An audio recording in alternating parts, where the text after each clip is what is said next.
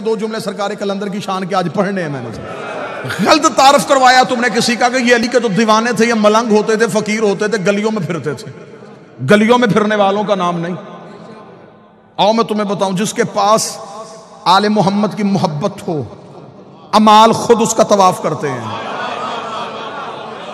वल्लाबा हुसैन, मैं मिंबर की बुलंदी पे कह रहा हूँ, हरफों का सामन होके कह रहा हूँ। अगर किसी के अंदर आले मोहम्मद के बग्स की निजासत हो जितनी मर्ज़ी इबादत करे। ऐसा ही है जैसे शराब के गिलास में पानी।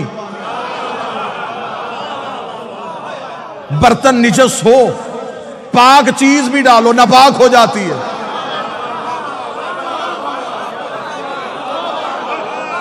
नाना, आपको दलील अच्छी नहीं लगी तो फिर सर झुकाए ना आप। जिस बंदे को नहीं सुनने आज उसके लिए इतनी रायत कर सकता, वो कानों में उंगलियाँ दे सकता है।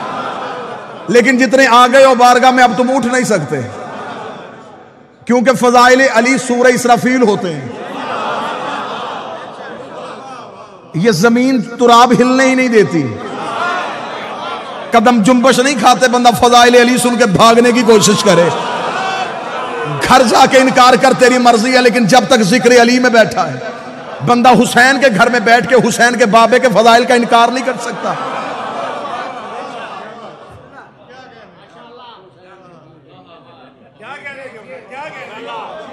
फजीलत का इनकार नहीं। इन ये ये असमाए जिन्हें लोग समझते हैं, ये फकीर हैं, ये मलंग हैं, ये दीवाने थे अली के नौकर बस फियों ने पकड़ लिया, बहलोल, दीवाना, कलंदर, दीवाना, फकीर। आमद तुझे बताऊँ इनकी मार्फत क्या थी। वक्त के फकीर का नाम था शाह हुसैन। दुश्मन की साजिश है कि उस्मान मरवंदी नाम था। शाह हुसैन नाम था।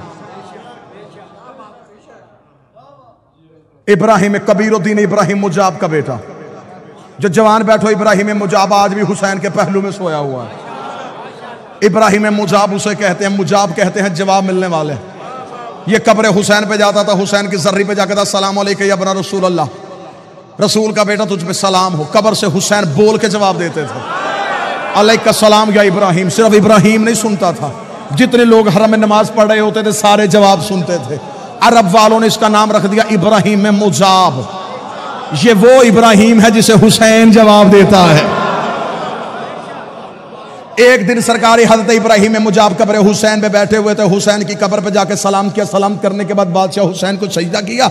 इमाम हुसैन की आवाज़ आई, जा इब्राहिम, वापस चला जा। मैं तुझे एक बेटा अता करूँगा। मैं तुझे एक बेटा अता करूँगा। मैं तुझे एक बेटा अता करूँगा जो जाफ़र तैयार के परों का सदका पर पाएगा और जन्नत में प्रवास करेगा। जमाना उसे शहबाज कहेगा। इतना कहना था, मैं तुझे वो बेटा अता करूँगा। मैं वो बेटा अता करूँगा। मौलवी जहाँ लेके गया। मैं सर पे कुरान रख के उससे पूछता हूँ, हुसैन ने कहा, मैं तुझे बेटा अता करूँगा। अताएँ पैदा नहीं होती, अताएँ नाजल होती है। अब मुझे बोल के बता, जिनके घर का कुत्ता नाजल होता हो, वो चौदह पैदा नहीं होता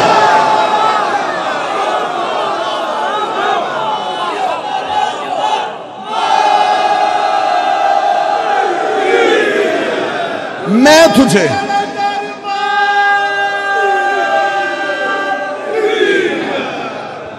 मैं तुझे बेटा अता करूँगा।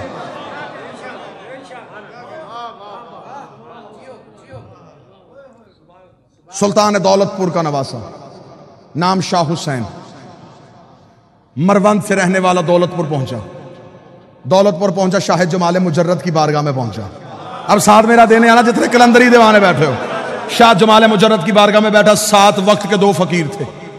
जलालुद्दीन हैदर सुरखपोश, नकवी बुखारियों की जद, साद बाबा फरीद, शाह जमाल मुजरत की बारगाह में पहुँचा तो वहाँ तेल ककड़ा गर्म था। बारह साल से तेल तप रहा था। मन्नत वाले आते थे, अपनी मन्नत मानते लकड़ियाँ जला के चले जाते थे। तेल ककड़ा गर्म था। कलंदर आया, कलंदर ने अपने दोनों टांगे आ के नीचे की।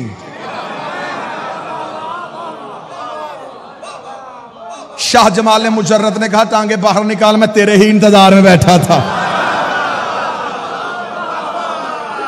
कलंदर ने कहा है मुझे मुर्शद ने तेरी बारगाह में भेजा है। इतना कहना था, उसने कहा, फकीरी लेने के लिए आया, तुझे तेल के कड़ाहों में जाना पड़ेगा। अब शरीयत के पाबंद बंदों से मैं माफ़ी चाहता हूँ, मैं थोड़ी इश्क की बात करने लगा हूँ। जहाँ शरीयत रुक जाती है, वहाँ इश्क की परवाज शुरू हो जाती है।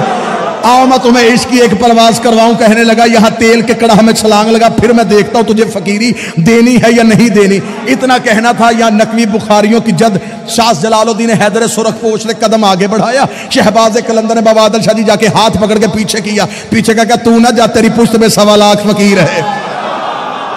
तू नकवी बुखारी की जद है, मैं आगे बढ़ता हूँ। कलंदर कहते उसे है जिसने शादी ना की हो। शहबाज कलंदर आगे बढ़े और तेल के कड़ाहों में छलांग लगा दी। तेल के कड़ाहों में छलांग लगा दी। अब किताबों की रवायत है कोई कहती ढाई महीने कोई कहती डेढ़ साल। जिसने ज़्यादा लिखा उसने कहा तेरह साल।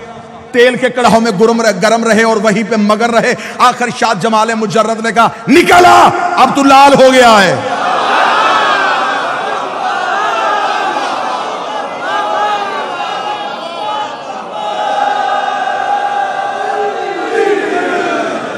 सर उठाए वो बंदा जिसने फकीर के सामने घुटने टेके हैं।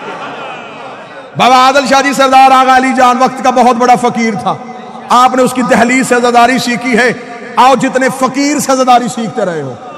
जिन्होंने वक्त के फकीर के हाथों से अब्बास का आलम थामा है। निकल बाहिर तो लाल हो गया है। कलंदर का बाहर आना था या खानगाह में दरखत के पत्तों से आवाज़ आई, हाजा कलंदर। हाजा कलंदर हाजा कलंदर हाजा कलंदर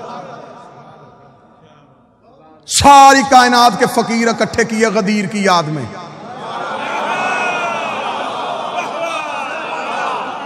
अब मेरा अपना, मेरा दिल कह रहा है, मेरा दिल कह रहा है कि जो यहाँ हो और यहाँ से जाना चाहते हो, तुम जाओगे ज़रूर।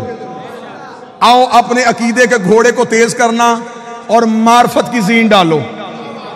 आओ मुवद्दत की वादी में कहीं जाके गुम हो जाए। कायनात के फकीर इकट्ठे किए गए। कलंदर के सर पे फकीरी का ताज पहनाने का वक्त आ गया। कलंदर के सर पे फकीरी का ताज रखा कलंदर के सर पे सारी कायनात के सवा लाख फकीर इकट्ठे थे कलंदर के सर पे फकीरी आई कलंदर के सर पे कलंदरी का ताज आया कलंदर ने अपने बाजुओं को देख, देखा देखने के बाद तोला तोलने के बाद कहा हुसैन ने तो कहा था कि पर दूँगा हुसैन ने तो कहा था पर दूँगा। इतना कहने के बाद कलंदर ने प्रवास की पहली प्रवास की कलंदर ने पहली जस लगाई सवा लाख फकीरों ने उड़ता हुआ शहबाज देखा आवाज़ दे के लगा जा कहा रहा बता तो सही तू है कौन? फरमाया है दरियाम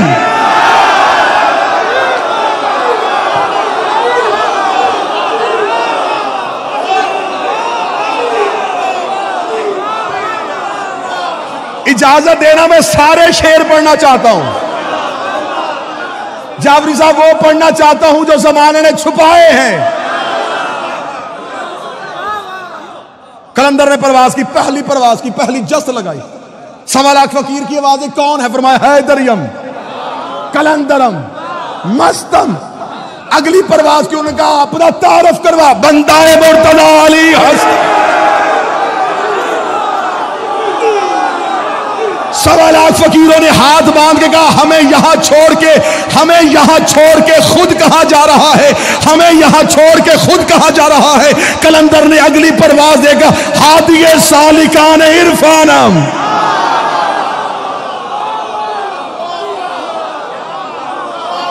मैं इरफान की गली के रहने वालों का हादी हूँ। उन्होंने कहा, रुतबा क्या मिला? कलंदर ने अगली जस्त लगाई। परवाज बुलंद करके कहा कलंदरिए बस्तम ब कमारे बंदम। कलंदरी मैंने अपनी कमर के साथ बांधी हुई है। अगली परवाज हुई, उन्होंने कहा, अपना मज़हब बता के जा, तेरा मज़हब क्या है?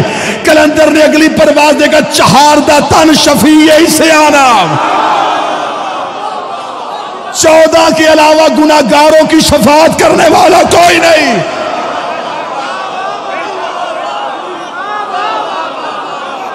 चहार दा तन शफीयानम चौदह के अलावा गुनागारों की शफात करने वाला कोई नहीं। फकीरों की आवाज़ है, ये अकीदा किसने दिया? कलंदर ने कहा, मोहरे शाह हफ दीन ईमानम। ना ना ना ना, हाथ नहीं, कशकोल होना चाहिए। कलंदर ने कहा यह अकीदा मेरी जाती इजाद नहीं, मेरे बादशाह ने मोहर लगाई, दीन भी यही है, ईमान भी यही है.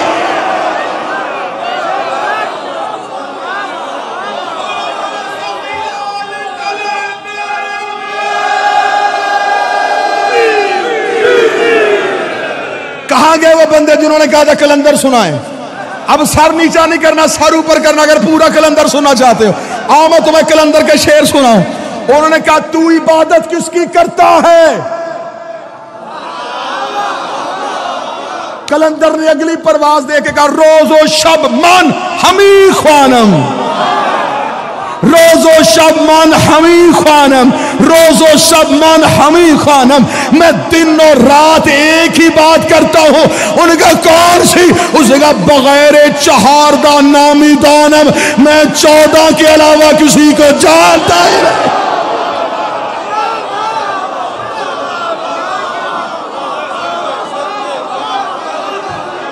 तुम मुझे कहते हो, तुम मुझे कहते हो। तुम मानता किसे मैं चौदह के अलावा किसी को जानता ही नहीं।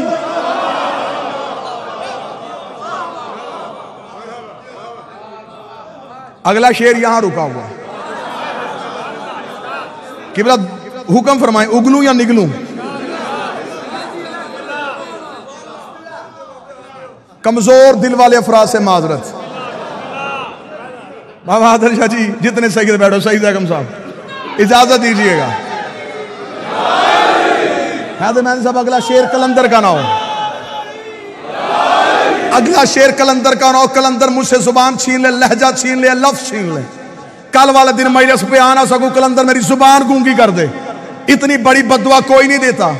अब इतनी बड़ी बदुआ अगर मैंने अपने आप को दी है, अगर तुम में से कोई शक करे मैं बोल ना सकूँ वो सुन ना सके। आइंदा के बाद मौला फिर अगर उसका कान, उसकी बसारत अगर कुछ भी फजाइल अली का देख नहीं सकती सुन नहीं सकती, फिर वो कुछ सुने ही ना। इतना कहना था, या सवा लाख फकीरों की आवाज़ आई। कलंदर, हमें इतना तो बता, इतना तो बता। तेरा अकीदा क्या है? तेरा अकीदा क्या है? कलंदर ने अगली परवाज दे के कहा, मम बगैर अली, ना दानिस्तम मैं अली के बगैर किसी को नहीं जानता। अली अल्लाह अजल अवल गुफ्तम। मैं पहले दिन से एक ही बात जानता हूँ, या अल्लाह है या अली।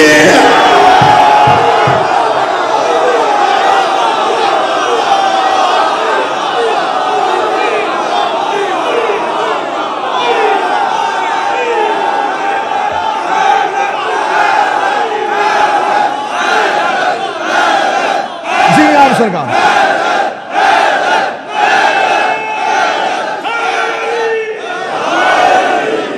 बस बस चो चो यहीं पे गुफ्तगु तमाम करते कलंदर ने परवाज़ शुरू की। कलंदर ने हैदरियम कलंदरम, मस्तम, बंदाए मुर्तदा अली हस्तम चहारदा तन शफी, ये इसयानम, मोहर हस्त दीन ईमानम, बगैर चहारदा हस, नामिदानम, रोज अल्लाह अल्लाह, अज अवल गुफ्तम। ये कह के कलंदर परवाज़े बढ़ाता गया बढ़ाता गया बढ़ाता गया बढ़ाता गया।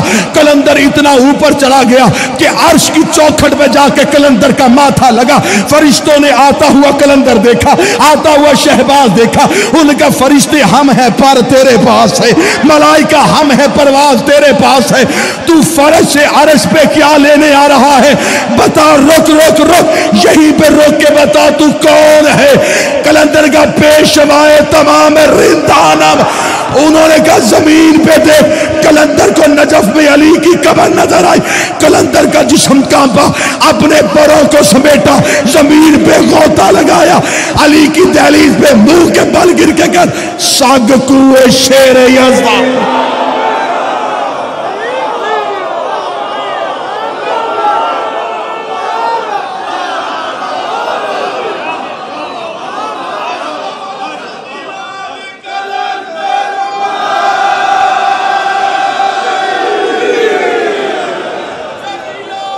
बिस्मिल्लाह सरकार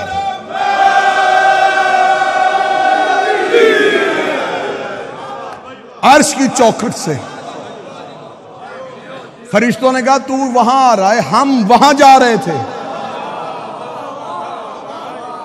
तू कहाँ? कलंदर ने कहा, मैं तो प्रवास पे हूँ। उन्होंने कहा, ज़मीन पे देख। ज़मीन पे चमकता हुआ धुर नज़र आया। नजफ में अली का रोजा नज़र आया। कलंदर का जिसम कांपा, परों को समेटा, ज़मीन पे गोता लगाया, दहलीज पे गिर कहता सग कुए। दर का नहीं, गली का।